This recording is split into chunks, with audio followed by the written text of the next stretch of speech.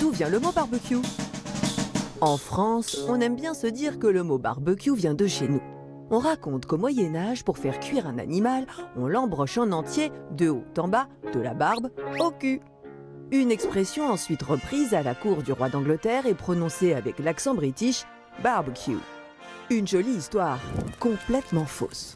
La véritable origine du mot barbecue remonte à Christophe Colomb et sa découverte des Amériques, ou plus précisément des Caraïbes. En 1492, l'explorateur rencontre la tribu des Taïnos. Ces Amérindiens font cuire leur viande sur une grille de bois suspendue au-dessus des braises. Ça ne vous rappelle rien Dans leur langue, l'arawak, ils appellent ça le barbacoa. Les colons espagnols adoptent la technique et le mot qu'on retrouve ensuite dans toute l'Amérique latine. Les colons britanniques, eux aussi, s'approprient ce mode de cuisson qui devient le barbecue. Avec la conquête de l'Ouest, ce mot barbecue traverse les États-Unis et désigne désormais de grands rassemblements festifs durant lesquels on partage des grillades. Mais il faut attendre les années 50 et l'arrivée sur le marché de ces petits barbecues fabriqués en série pour que la pratique se répande dans les foyers et devienne un symbole de la culture américaine.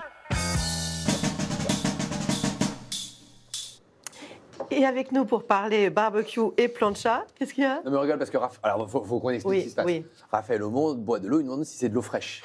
Sous-entendant ici au magazine Bah, de la santé. Et vous savez, les- vous savez, quoi, vous savez quoi? Vous nous direz demain si elle était fraîche. Merci beaucoup. Je suis votre buveur aujourd'hui, Raphaël, votre goûteur. Donc, nous sommes avec le, Dori- le docteur le Dorine, le docteur Corinne Chichporti-Chayache, qui est médecin nutritionniste. Bonjour Corinne. Et avec Raphaël Aumont, professeur de chimie. Re, bonjour Raphaël. Euh, On va commencer, avant que vous nous montriez comment vous avez fait du barbecue et de nous expliquer le Ah, barbecue, par une question. Oui, alors on nous demande si c'est dangereux de faire du barbecue ou de la plancha tous les jours. En été, c'est vrai qu'il y a des gens qui n'utilisent que ça.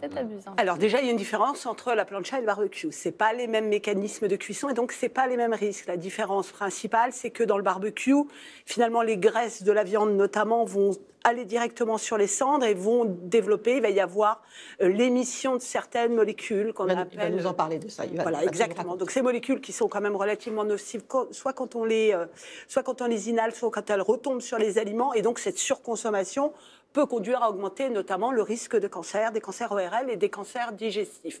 Dans la plancha, c'est différent. La plancha, d'abord, elle, elle, elle préserve mieux les qualités nutritionnelles des aliments, et puis il n'y a pas de contact direct avec la flamme. Donc euh, finalement, euh, bah, les, les graisses sont éliminées, ça reste quand même une bonne façon de manger. Donc il y a une vraie différence. Souvent, le barbecue, c'est hauteur 10 cm maximum des, des, des, des- des flammes, et puis une fois par semaine, et le reste du temps, on peut privilégier la plancha. Même pas Mais de flamme, hein. Pas de flamme normalement. Ah oui, non, pas de, des cendres, en fait, Mais- des cendres. Mais, mais c'est moins goûtu. C'est moins goûtu. Bah, en fait, On va, on va voir pourquoi. Enfin, Vous êtes allé. Pas pour rien. Vous- Est-ce que vous voulez répondre avant de, avant de nous expliquer ah non non. sur le moins goûtu? Non non non non parfait. Bon, parce qu'on est allé dans votre labo, ou plutôt dans la cour de votre labo. Oui. Excusez-nous parce qu'ils sont très contents, tourner quelques images qui vont nous permettre de comprendre les fondamentaux chimiques d'un bon barbecue. Alors déjà, euh, quelle différence vous faites d'un point de vue saveur et donc chimie? Bah justement, on a commencé à en parler et c'est très bien parce qu'en fait, barbecue c'est à la fois grillé et fumé. C'est deux types de notes aromatiques, alors que plancha ou c'est comme à la poêle, si vous voulez, comme les Mhm. teppanyaki euh, en Asie, c'est que, mais c'est déjà très bien, hein, grillé. En fait, voilà. Mais barbecue, ça fait vraiment ce côté fumé qui est intéressant. Les barbecues électriques, les planchas, ça n'a pas le même goût. Ah, d'accord, C'est oui. vraiment ça l'idée, en fait. hein. Donc, effectivement, on a tourné des images à Orsay. On a fait un barbecue.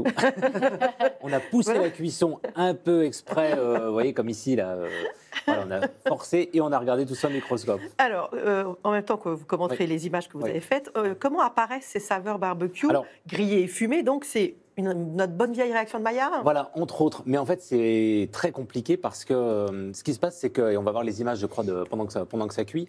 Donc, en fait, il y a les, ce qu'on appelle les Voilà. sucs de Vous la viande. là Donc, en fait, c'est euh, c'est de l'eau de constitution qui se mélange avec les graisses, avec les sucres, avec les protéines.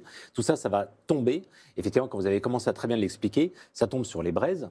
Et ensuite, ça se décompose. C'est des réactions de Maillard, On- mais on voit bien, là, le extrêmement liquide qui violentes, sort de extrêmement saucisse, hein. Voilà, c'est ça. Ça retombe. Alors là, c'est ce qu'il ne faut pas faire, justement. Il y a encore des flammes. Piquer la. Piquer, c'est ne faut pas faire. Euh, Il y a encore des flammes, mais c'est exprès. Mais surtout, vous allez bien regarder, on va voir ce jus qui tombe sur les braises. Et en fait, après, ce qui va se passer, c'est qu'il y a des réactions de Maillard de décomposition très rapides. Mhm. C'est alors ça donne des composés aromatiques aussi intéressants. hein. C'est ça qu'on aime bien, cette odeur un peu grillée. Ça va retomber et tapisser la viande. Et c'est ça, c'est notre fameuse, euh, c'est notre fameuse fumée. Et ça, c'est intéressant. Alors, voilà. Mm. on huile, on huile pas, on marine, on marine pas? Alors moi, je ne suis pas pour euh, ni mariner avec des choses très sucrées et ni de l'huile. Pourquoi? Parce que justement, ces réactions de décomposition sont quand même à l'origine de réactions toxiques aussi. Donc en fait, si vous, en plus, vous chargez avec la- de l'huile ou avec des sucres, vous faites des benzopyrènes. Voilà, là vous êtes en train de mariner. Des acrylamides. Voilà, c'est ça. Donc là, c'est vrai que c'est tentant, et puis on voit ça dans tous les livres. On dit, ah, tiens, regarde, j'ai mis des oignons. Alors, on peut mettre des oignons, on peut mettre. euh, Il y a- il y a- le citron est pas mal. citron. Le milieu acide voilà, va diminuer la réaction. Ça, c'est très intéressant. Ça peut commencer à attendrir un peu. Tout ça, ça va parfumer. On peut piquer à l'ail aussi, tout Ouais. simplement. Mais évitons alors, la bonne dose d'huile d'olive, euh, etc. C'est gourmand, mais il faut plutôt l'utiliser après. Ça, c'est plus intéressant. Alors, autre question, charbon ou petit bois? Et pour donner un peu plus de saveur, est-ce qu'on peut utiliser des essences de bois type cerisier, hêtre? Euh, On nous demande une question, est-ce que mettre du foin, du foin et du thym dans le barbecue pour parfumer, est-ce que c'est dangereux? Alors, alors ça, c'est une très bonne question et c'est des, des très bons gestes de cuisine, c'est gourmand. Mais le problème, c'est qu'il faut, on le met souvent trop tôt. C'est-à-dire qu'on on démarre le barbecue, puis on dit ah regarde, moi je mets du romarin, j'ai acheté du Mhm. bois de cerisier, du bois de hêtre, etc. Mais en fait, tout va brûler. Et comme ça va brûler, et il faut que ça brûle d'ailleurs pour obtenir de la braise. Mais la braise, c'est quoi? C'est du charbon. Et le charbon, ça n'a pas de goût, ça- n'a plus de goût aromatique. Donc en fait, si vous voulez utiliser ces essences, même la feuille de romarin, ou, enfin la branche de romarin, pardon, ou la feuille de laurier, très Mhm. intéressant, mais mettez-la en même temps que la viande D'accord, dernier moment. voire même en fin de cuisson, et vous couvrez, et là vous allez faire comme un fumoir. Et là c'est très intéressant. Et ça veut dire quoi un fumoir? Ça veut dire qu'on va augmenter l'humidité? Alors vous allez augmenter l'humidité, exactement, donc vous allez garder plus de moelleux, parce qu'on a souvent tendance à trop cuire, ça assèche inutilement, et puis on se dit toujours, à la réaction de pour griller, il faut que ce soit sec. Mais non, il faut qu'il y ait de l'eau en fait pour développer aussi des notes aromatiques intéressantes. Donc vous allez baisser la température aussi, le fait de couvrir. Ça va pas éteindre le feu, hein, rassurez-vous, ça suffira largement. Une viande, ça commence à cuire à 60 degrés. Donc là, on est tranquille. Mais vous allez diminuer ces réactions trop toxiques. Et puis, vous allez effectivement servir de fumoir. Et ça, c'est extrêmement euh, bien pour, le, pour les saveurs. Alors c'est vrai, quand on cuit euh, trop, on brûle, et ça va devenir toxique. Et même Alors- si on gratte, en fait, ça suffira pas. Voilà. Alors, je ne sais pas si on voit bien ici, euh, mais On voit qu'elle est ratée. Hein là, là, voilà. Je vous le dis, hein. Franchement raté. Je sais pas, voilà, on peut zoomer. Mais quand on Vous coupe, nous avez habitués à mieux. Voilà. Mais vous voyez, là, on se dit, oh, après tout, c'est pas mal, il n'y a que l'extérieur, je vais gratter, ça suffit. Euh, eh bien, en fait, non. Parce que cacher si on- la misère. en général. Voilà, on gratte, Quand on dit, a bon, allez, ah, mais t'as ça passe inaperçu. Je mets un petit coup là. gratte, ça va aller, tu mets deux, trois herbes dessus. Mais en fait, non, on connaît tous. Mais si on regarde au microscope, on voit que c'est un peu plus dramatique que ça. Vous pouvez nous montrer ça Allez, je vais au tableau. Allez, Allez, au tableau, élève, élève, Jimmy, élève au mont. Voilà. Alors, ce qui se passe, c'est que, voilà, stop. Ce qu'on a fait, c'est on a donc coupé cette saucisse qui était euh, trop brûlée. On voit d'abord l'intérieur un peu blanc, bon là un peu vert avec l'image du microscope, mais c'est pas très grave. Mais là, c'est juste cuit comme il faut. Et puis, en fait, quand on va par ici, là, vous voyez que là, c'est bien noir, même trop noir, c'est grillé. Et en fait, on se rend compte qu'il suffit pas de gratter en surface, parce que si on va à l'intérieur, là, vous voyez, on est sur quand même 3-4 mm, eh bien, c'est rentré. Les composés aromatiques sont rentrés à l'intérieur, mais ça veut dire aussi des composés toxiques. Et là, c'est dramatique. Donc, il suffit pas de gratter, il faut vraiment euh, jeter, hein, hélas. Et alors, du coup, euh, astuce euh, pour un, barbecue plus santé. Alors un barbecue plus santé, moi je conseille même de pré-cuire la viande. Vous pouvez même quand vous avez des grosses pièces, euh, par exemple rôti, euh, de l'échine de porc ou même pourquoi pas des, euh, chipolatas comme ça, on peut même les blanchir même dans de l'eau ou dans un bouillon aromatique.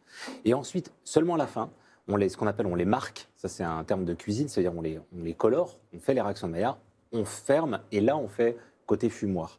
Et pareil pour les légumes, souvent on met des gros morceaux de poivron, des gros morceaux d'aubergine, on se dit ah, vas-y mets à griller. Mais en fait, ça n'aura jamais le temps de bien cuire à l'intérieur, ça va brûler à l'extérieur. Donc on pré-cuit.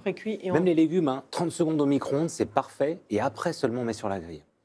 Vous avez réagi, euh, on pique- il y a plein de gens qui piquent les saucisses parce que sinon Ah ça va, ça va ex- exploser. Euh, Alors ça va exploser peut-être, mais en tout cas, toute la- tout le gras va partir, va descendre sur les, sur les cendres, et là on va avoir cette fameuse réaction, et on va avoir la diffusion de ces, de ces produits un peu toxiques qui vont revenir, d'abord qu'on va inhaler, et qui vont revenir sur la viande quand on va la consommer. Donc on pique éventuellement un petit peu euh, avant, et on s'assure que le gras ne tombe pas euh, sur les cendres. Mais vraiment, euh, passer juste dans un bouillon les, les saucisses, elles vont, comme ça, ça va figer. Et là, après, ça n'éclatera plus. Et vous disiez qu'il n'y avait pas les mêmes propriétés. euh, on perd certaines qualités euh, nutritives au barbecue par rapport à la plancha? Alors la plancha est- a une cuisson souvent plus courte et donc préserve mieux les qualités nutritionnelles. Il y a certaines vitamines, des vitamines notamment hydrosolubles, qui sont particulièrement sensibles à la température. On va mieux préserver la qualité nutritionnelle du produit et notamment de nos légumes et de nos- Mm. qu'évoquait Raphaël. Et alors, au niveau de la fréquence pour le barbecue, à partir de quel moment on considère que c'est trop ou qu'il y a un, un petit danger? Alors après, ça c'est toujours très compliqué comme question parce que euh, faut pas être arbitraire et que c'est souvent d'abord très saisonnier. Donc faut le rapporter à une année, c'est sur une période. Moi je trouve que un ou deux barbecues par semaine, ça me paraît euh, tout à fait raisonnable. Et encore une fois, on peut associer à la plancha, même si c'est pas exactement le même goût, ça a un peu le même charme quand même. Donc Ouais, euh, c'est ça. Euh, Qu'est-ce qui fait le plus grossir, barbecue ou plancha?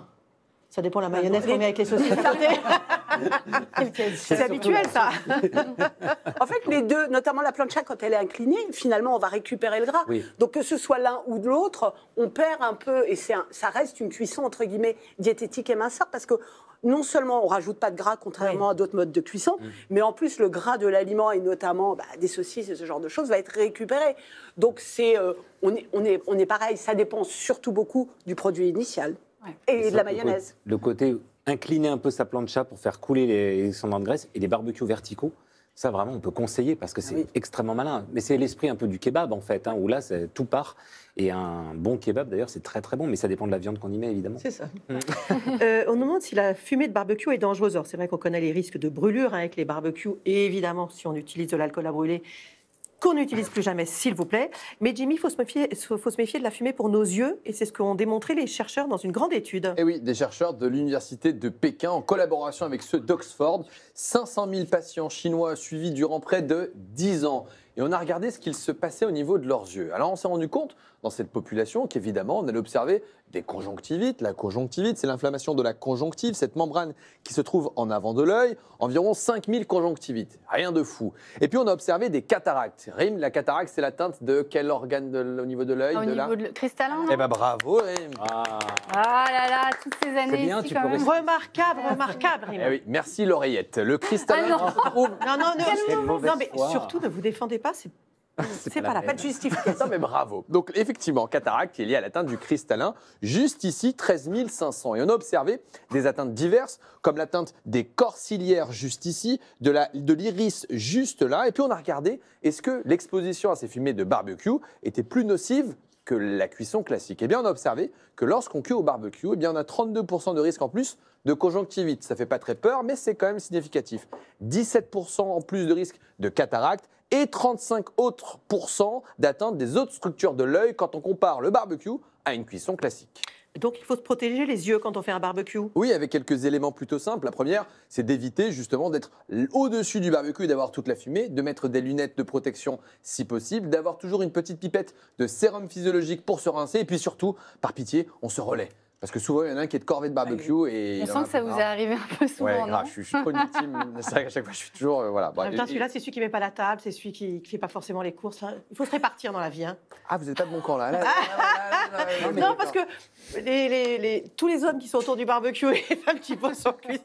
C'est vrai. Euh, Bon. Je plaide coupable. Parfois, ça fait un peu concours de testostérone quand même. Moi, j'arrive mieux à faire que toi. Alors, c'est vrai que c'est euh, le chef de famille qui s'occupe ouais, du barbecue. c'est ça, C'est ouais. vraiment le. Ouais, c'est ça. Le mal, 400 000 alpha. ans avant Jésus-Christ. Euh, Ouais. Euh,